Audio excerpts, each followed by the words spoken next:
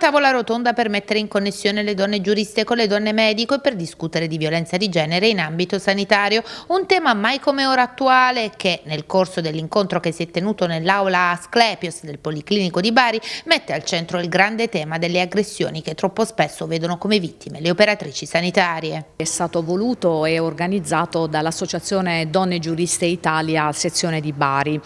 È un incontro molto importante perché ci confrontiamo anche in ricordo della giornata mondiale eh, contro ogni forma di violenza nei confronti delle donne che la cui data ricade il 25 novembre, ci siamo riuniti appunto noi donne giuriste con le donne medico per affrontare le problematiche che queste mm, si trovano a dover fronteggiare, eh, spesso eh, violenza eh, a livello personale, quindi passiva ma anche attiva. La DG eh, ha creato una sinergia grazie anche all'ospitalità del Policlinico di Bari con i vari reparti, eh, abbiamo quindi l'intervento eh, delle dottoresse della centrale operativa del 118, del pronto soccorso, della medicina legale, eh, tant'è che anche la Società Italiana di Medicina Legale e Assicurazioni eh, ci ha dato ovviamente il, il patrocinio e eh, anche della medicina del lavoro. Per cui le avvocate e l'Ordine degli Avvocati di Bari ha voluto sposare questa sinergia tra, tra donne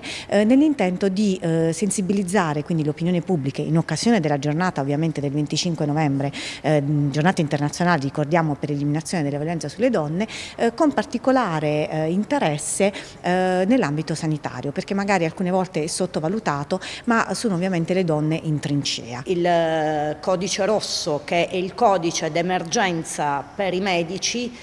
sta diventando un codice d'emergenza, anzi è già diventato un codice d'emergenza per la giustizia, in quanto è stato introdotto con la legge del 2019 e questa normativa ha, eh, è intervenuta appunto sulla violenza di genere eh, inasprendo le pene eh, soprattutto in materia di stalking e introducendo nuovi reati eh, tra cui un veramente delitto grave che è quello eh, in sintesi dello sfregio permanente al viso. Successivamente abbiamo eh, ora un nuovo decreto proprio di qualche giorno fa che eh, il Senato ha approvato eh, purtroppo successivamente alla tragedia di Giulia Cecchettin. Parlato del eh, pericolo grave che corrono soprattutto le donne medico di essere sottoposte a violenze non soltanto fisiche ma anche verbali, tanto da eh, alterare la risposta terapeutica